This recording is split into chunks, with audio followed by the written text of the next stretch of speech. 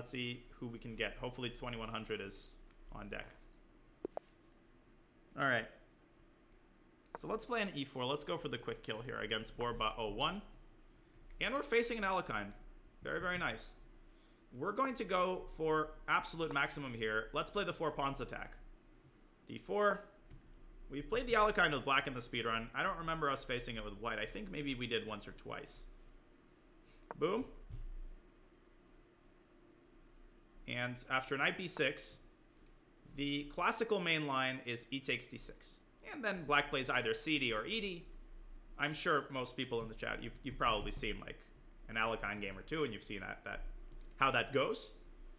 But white is a line which often flies under the radar, and in my opinion, it, it, it might even be the best way to fight for an advantage. It's also a very ambitious line, and if you don't know it well, white can get crushed in five moves because of how ambitious it is. That's the four pawns attack. That's the move f4, supporting the e5 pawn. You're literally going for central domination, but at the cost of development. So we fall behind in development, which means that we need to play very, very carefully not to, to make sure our center doesn't collapse. This is the first instance where we have to be careful. The automatic move is knight f3. But it turns out that knight f3 is a very serious inaccuracy because of bishop g4. So, and the move c5 here would give up this massive outpost on d5. We don't want to create that gaping hole in the center. Uh, so instead, we want to find a different way to defend d4. And we do that with bishop e3. Generally, black develops the bishop to f5. And then we continue with knight c3. Now, now the threat is knight b4. So we need to develop our knight so that knight b4 can be met with rook c1. Queen d7, yeah, that is one of the legitimate lines. Now at this point, we've developed several of our pieces. So it, it already makes sense to play knight f3. The move bishop g4 is no longer dangerous uh, because we've developed enough pieces to deal with to deal with that move. So it's time for us to complete our development. Knight f3, bishop e2 castles. Bishop g4 is played. Yeah, that's a legitimate move. And let me try to remember how we're supposed to counter it. Um, if I'm not mistaken, which I probably am, we are supposed to sacrifice a pawn here. Yeah, so there, there, there. Yeah, so I'm pretty sure we're supposed to sack a pawn here for development. Um, and play the move bishop e2. Bishop takes f3. Bishop takes f3, and I think we're supposed to give up that pawn on c4, simply. And it turns out that our lead in development and our two bishops uh, offer more than enough compensation for it. But, but that could also be wrong. That could also be wrong. But we have to give it a shot. This is classic Naroditsky style. Bishop e2, bishop f3, bishop f3. Let him take it. Okay, he doesn't take it. Doesn't take it. Okay, now the situation again has changed. If we castle, then we allow bishop takes f3, bishop takes f3, knight takes d4. And this d4 pawn we do not want to lose because our center collapses if we lose that pawn. Um, the move d5 comes to mind. Maybe we should just push that pawn. But, but then black plays bishop takes f3. And if we take back, then we lose the e pawn. That's also not a pawn we want to lose. It, it not it's not entirely clear what to do, but that old move Gain suggested, the move c5. It used to be the case that giving up the d5 square was not worth it. But now that black has castled queenside, the move c5 essentially jumps jump starts a queenside attack. So I believe that this is a theoretical move c5. We do give up the d5 square, but in return, this pawn clamps down on black's position, and our queen can later come out to a4 to start the attack. All right. So, no, I, I still kind of remember this. I think this is this is all correct. So we take it. And, all right, after queen takes d5, I believe, I think it did so. I believe that we can do several different things. We can probably just castle, or we can play a move such as queen c2. Hmm. Yeah, I should have looked this up at some point because now I've, I've gotten dragged into theory that I don't, I don't know very well. Or we can play Artemiev style. We can play king f2. Uh, lending reinforcement to our bishop and preparing queen a4. I actually quite like that move. I like the move king f2 here just to make sure the bishop is nicely protected, connecting our rooks. And, uh, and then, based on what he does, we will see if we can move the queen out. Let's go king f2. Or maybe get him out of his theory, at least. Another idea is to go rook c1 followed by bishop c4. We can also push the b pawn. Try to create an attack that way. Lots of possibilities here for white. Lots of possibilities here for white.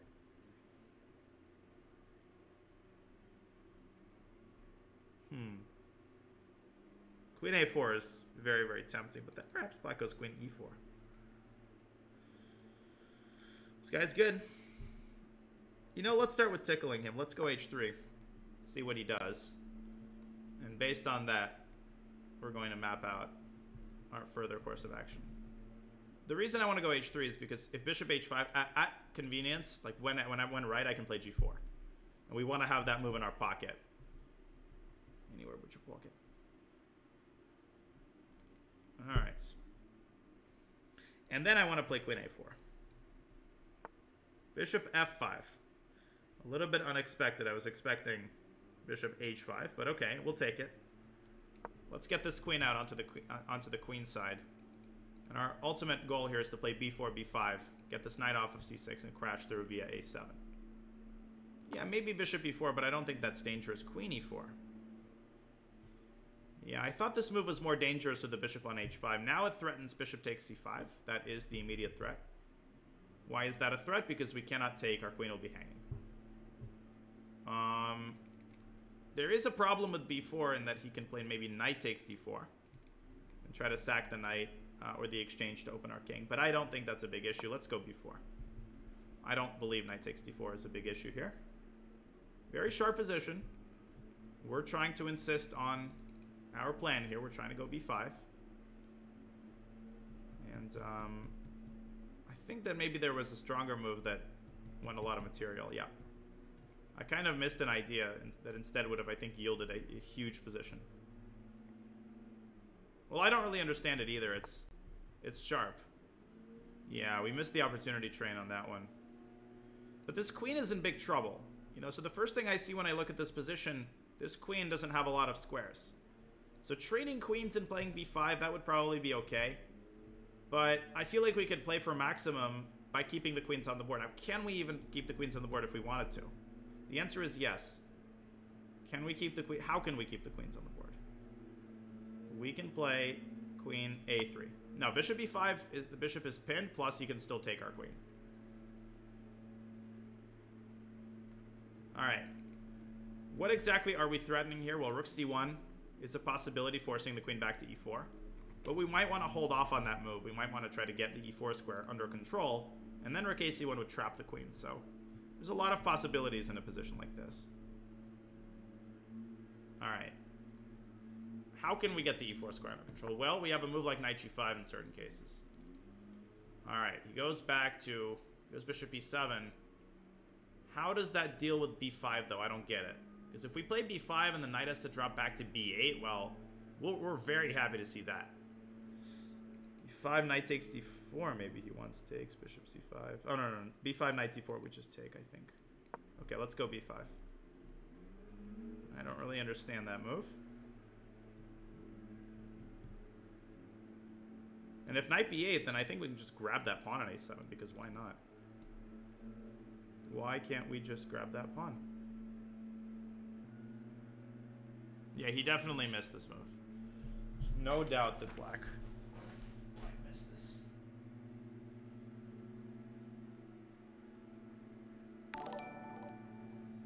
Oh, we got subs. Black Sword, thank you.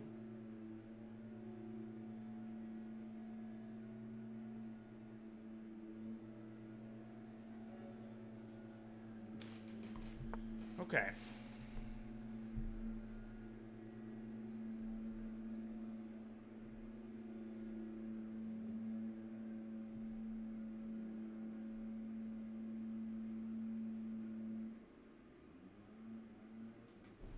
B8. Well, give me that pawn, please. Bishop d3. I saw that move. It's not as big of an issue as it appears, I think, because we can simply defend our bishop on d3. And we can do that by playing rook h to e1. Okay.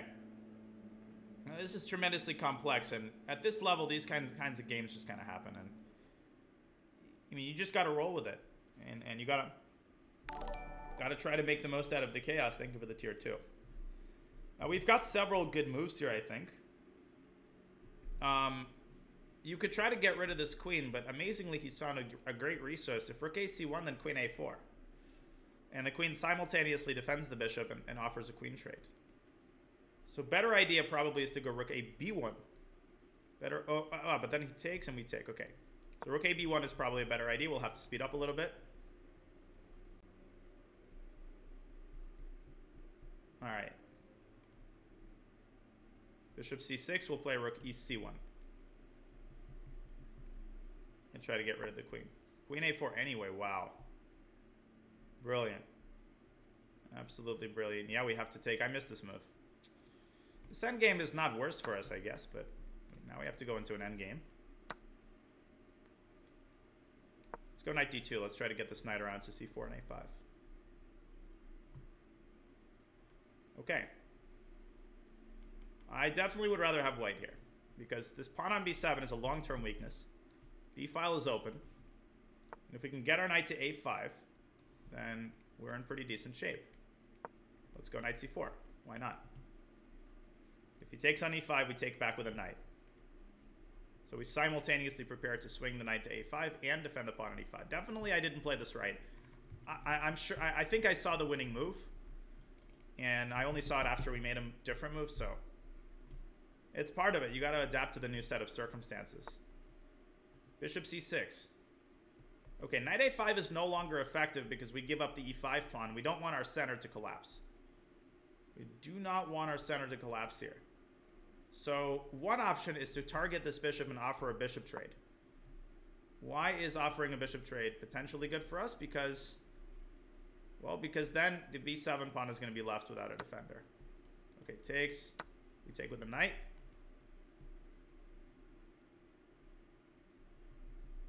Now, I think that might have been a mistake. The e6 pawn is quite quite weak. Rook a hf8. All right. Well, I kind of want to get out of this pin. Let's go king g3. Let's get out of the pin. Yeah, very strong player. So we're going to have to speed up. We're going to take with the knight to not ruin the integrity of our pawn structure. I don't want to play gf and get isolated pawns, even if it means dropping the knight from the outpost. One positive byproduct of this is the rook is x-raying the e6 pawn. So let's drop our bishop back here and try to mount the pressure on that pawn. And as a follow-up, we could try to double rooks on the e-file and keep targeting it. Yeah, this is very, this is about equal, I think. This is not, if it's better for, for me, then it's only a tiny advantage. So it's going to be a, it's to be a grind here winning this with two minutes. Yeah, so far I have not lost a game in the 10 minute speedrun, I think. Okay, we're going to double rooks. And this king on g3 is a little bit in the way. So let's move it back to h2 in order to be able to move this bishop along the diagonal. We could also play bishop g3 and reposition the bishop on a slightly more active square. On f2, it's not really doing anything. We don't need another pair of eyes on the d4 pawn. Our knight and the rook are perfectly doing the job. No, it doesn't hang d4. We have two defenders on it.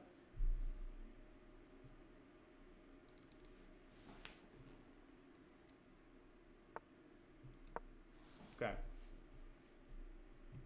Bishop g3. Probably going to go g5 is this guy.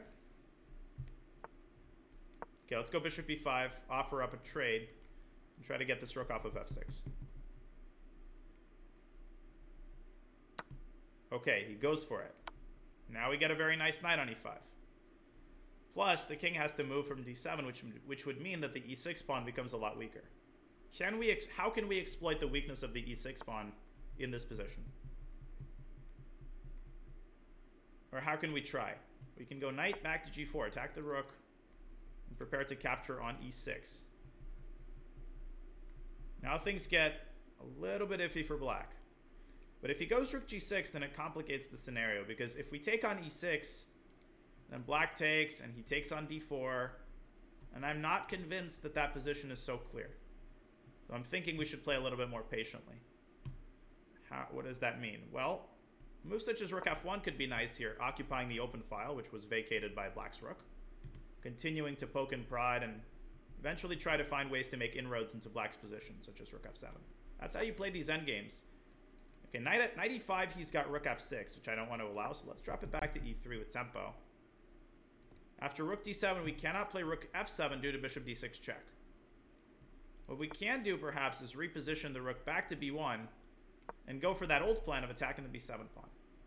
Trying to eventually overextend him. Okay, knight c4 makes sense. Yeah, let's go knight c4, try to go to e5. E of bishop f6, then we get we take e5. Uh, we take e6, I think. g4. And finally a blunder. Blunder's the fork. Eventually we put pressure, pressure, pressure, and oftentimes, if, if you do it well enough, a blunder does come. Um, we got lucky here, but oftentimes these kinds of blunders are the result of are, are the results of this kind of pressure that we put on our opponent. All right.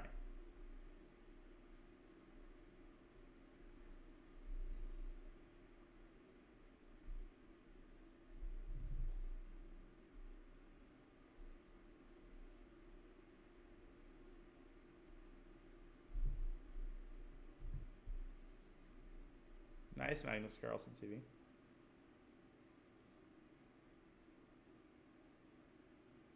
Well, I think he missed the fork because he thought we wanted to go knight a5. One source of blunders that people almost never talk about is you're like, well, how did he blunder this obvious move? Well, to you, it was obvious why you played your last move, but your opponent might have misinterpreted the reason behind your last move. He might he might have thought the knight comes to a5, and he might have been convinced of that. All right, so we can grab another pawn, but I don't really want to allow the rook to get active. So what I'm going to do instead is rook f1 offer the rook trade, force the rook off of the f file and then infiltrate via the F file to F7 or F3 or whatever. Let's go rook F7, 7th rank. Perhaps we could drop it to H7 and go after the H pawn. Yes. This guy does not go gentle into that good knight. Okay. Now, I don't want the rook to come to F6 and then F2. That's a scenario we want to avoid, which is why I'm going to go rook F4. Let's delegate, give the other rook an assignment here. And potentially piggies on the 7th, which is the ideal placement of rooks on the 7th rank in the endgame. We can go for it, even though he's got bishop e3. Bishop takes d4. We could give up that pawn because we have rooks on the 7th rank. If we want to be, if we want to play like a Russian schoolboy, you want to eliminate all sorts of counterplay. But if he goes bishop f6, we might have to. We might have to give that pawn up and suck it up. Yeah. We're going to have to suck it up and, and go rook f7. Which is totally winning, because this is just one pawn. We take on c7. We take on c7, and we threaten checkmate on c8. He's got a couple of checks, but not more than that. Okay, rook f6. Generally, in such endgames, you want to you want to get the king as as far into the center as possible. You don't want the king stumbling around uh, and getting into a mating net. So we just go king e2. Yeah, king e1 would be worse. I am trying to get the king to the center so that we don't have to worry about random mating nets. And okay, rook c8 is made. Tough game. And we're over 2100, less than 100 points away from the conclusion. Very, very nice game, even though there were a lot of mistakes. I'm not going to pretend that I played well. I think closer to the start of the game, I missed an opportunity to put him away. So let me talk about where this opportunity was. I think here, there was a hidden way after queen a4, queen e4. For some reason, I completely missed a relatively obvious move. And I don't know why I missed it. It's weird. Um, I'm not sure why I missed this move. Let me let me just show you. I, am gonna have to run right after I show you this one moment because I don't want to miss Uber. Yep. So after queen e4, we simply have knight g5. I, I saw the, the presence of this move, but I thought black had a check. And I simply didn't calculate far enough. After g3, black is busted. He's got to move his queen. We take the pawn. We win a lot of material. And after queen back to d5, we, you know, we can take on f7, but even better is to play something like bishop f3.